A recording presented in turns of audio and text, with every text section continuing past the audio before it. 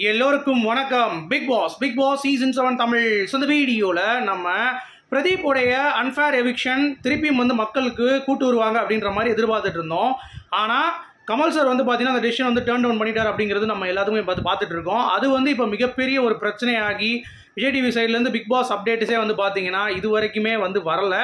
So என்ன அப்படிங்கிறது காரணம் நம்ம விசாரிக்கும் பொழுது டிஸ்கஷன்ஸ் வந்து போயிட்டு இருக்கான் அப்படிங்கிறது தான். ஸோ எதை பற்றி அப்படின்னா பிரதீப் அட்லீஸ்ட் கூப்பிட்டு வச்சு ஒரு தடவை வந்து பார்த்தீங்கன்னா கிளியர் பண்ணி விட்டுலாம் ரெட் கார்டை பற்றி அப்படின்ற மாதிரி ஒரு டிஸ்கஷன்ஸ் வந்து போயிட்டுருக்கா. நீங்கள் வந்து உள்ளே எடுக்க மாட்டீங்கன்றீங்க that is okay but we have to deal with some other அப்படின்ற மாதிரி ஒரு பாயிண்ட் ஆஃப் வியூ வச்சிருக்காங்களா? மக்களுக்கும் வந்து வெளியே குரல்லாம் பயங்கரமாக இருக்குது ஸோ அதனால் இதை பண்ணிக்கலாம் அப்படின்ற மாதிரி டிஸ்கஷன்ஸ் போகுது. ஸோ அது வந்து கமல் சார் சைட்லேருந்து இன்னும் வந்து முடிவுகள் எடுக்கப்படலை அப்படின்ற மாதிரி சொல்லப்படுது. அதனால தான் வந்து ஒட்டுமொத்த சோஷியல் மீடியாவே வந்து பார்த்தீங்கன்னா ஸ்தம்பித்து போயிருக்கு அப்படிங்கிற ஒரு அப்டேட் வருது. அடுத்து இன்னொரு அப்டேட் என்ன அப்படின்னா ஒரு எவிக்ஷன் வந்து ஐஷோ அப்படிங்கிறது வந்து கன்ஃபார்ம் ஆயிடுச்சு. பட் இன்னொரு எவிக்ஷனும் வந்து பண்ணணும். அதுவும் வந்து ப்ரெஷர் இருக்குது அப்படின்ற மாதிரி சொல்லப்படுது. அதாவது பூர்ணிமா அவர்கள் எப்படி வந்து மேனிப்புலேட் பண்ணி பிரதீப்புக்கு எதிராக அவங்களும் மாயாவும் சேர்ந்து திட்டமிட்டாங்க.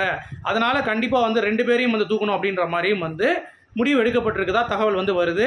ஸோ இரண்டு எவிக்ஷன் இருப்பதற்கு பாசிபிள் இருக்குது அப்படிங்கிறது தான். ஒரு எவிக்ஷன் மட்டும் கிடையாது. இரண்டு எவிக்ஷனும் வந்து இருக்குது ஸோ ஒட்டுமொத்த சோஷியல் மீடியாவும் அமைதியாக இருக்குது பிரதீப்புடைய என்ன வந்து சொல்ல போகிறாங்க ஸோ என்ன இருக்க போகுது அப்படின்ற மாதிரி. ஏன்னா நம்ம மட்டும் பேசல இதை. ஒவ்வொருத்தவங்களும் வந்து பேசிகிட்டு இருக்காங்க. சரியா? அவ்வளோ தூரம் வந்து இதனுடைய இம்பேக்ட் வந்து பார்த்தீங்கன்னா க்ரியேட் ஆகிருக்கு ஸோ ப்ரொமோ லேட் ஆகி லேட் ஆகி அதுவும் இல்லாமல் காலைல கமல் சார் வந்து எபிசோடு கரெக்டாக வந்து போயிட்டார். சரியா? அப்படி போகியும் இன்னும் வரைக்கும் வந்து ப்ரமோஸ் வந்து இவ்வளோ டிலே ஆகுறது அப்படிங்கிறது வந்து பார்த்தீங்கன்னா நம்மளால் ஏற்றுக்கொள்ள முடியாது. ஸோ ஒட்டுமொத்த சோஷியல் மீடியாவும் வந்து பார்த்தீங்கன்னா ஷாக்காக இருக்குது எங்கே பார்த்தாலும் பிரிங் பேக் பிரதீப் அப்படின்ற மாதிரி.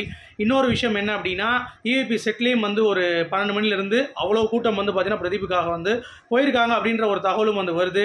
ஸோ என்ன முடிவு எடுக்க போகிறாங்க அந்த கூட்டத்தெல்லாம் வந்து கலைத்து விட்டு கமல் சார் இன்னமும் வந்து பார்த்தீங்கன்னா இந்த ஒரு விஷயத்துக்கு வந்து அக்செப்ட் பண்ணாமல் வந்து அடம் பிடிக்கிறாரா?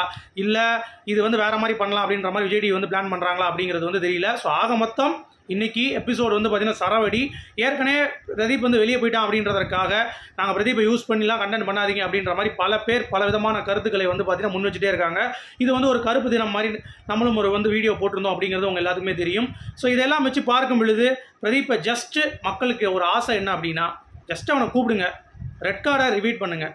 அதெல்லாம் ஸ்டே பண்ணுங்க. ஸ்டே பண்ணி ரெட் கார்டு நீங்கள் வச்சுக்கோங்க. பட் நீங்கள் யூஸ் பண்ண கெட்ட வார்த்தை நீங்கள் கேவலமாக பேசுனதுக்கு அப்படின்ற மாதிரி சொல்லி உமன் சேஃப்டியை மையப்படுத்தி அவன் வந்து பார்த்தீங்கன்னா எந்த ஒரு தவறும் பண்ணவில்லை அப்படிங்கிறது அவன் கொடுத்தது மட்டும் கிடையாது. ஒட்டுமொத்த மக்களுடைய குரல் வெளியே இருக்கிற ரிவ்யூவர்ஸோடைய குரல் வெளியே இருக்கிற எக்ஸ் கண்டஸ்டன்ஸோடைய குரல் அது மட்டும் இல்லாமல் உள்ளே இருக்கிற கண்டஸ்டன்ஸோடைய குரலும் இருக்குது அந்த கொடுத்த ஆறு ஏழு பேரும் வந்து பார்த்தீங்கன்னா இப்போ அந்த மாதிரிலாம் கிடையாது. அவன் அப்படி இல்லை அப்படின்ற மாதிரி வாக்குமூலம் கொடுத்த பிறகும் ஏன் இந்த முடிவு இன்னும் எடுக்கப்படவில்லை அப்படின்ற ஒரு கேள்வி எல்லார்கிட்டையும் வந்து இருக்குது இது சோஷியல் மீடியா வந்து ஒரு பெரிய பிளாஸ்ட்டாக வந்து போயிட்டுருக்கு அப்படிங்கிறது பார்க்க முடியுது.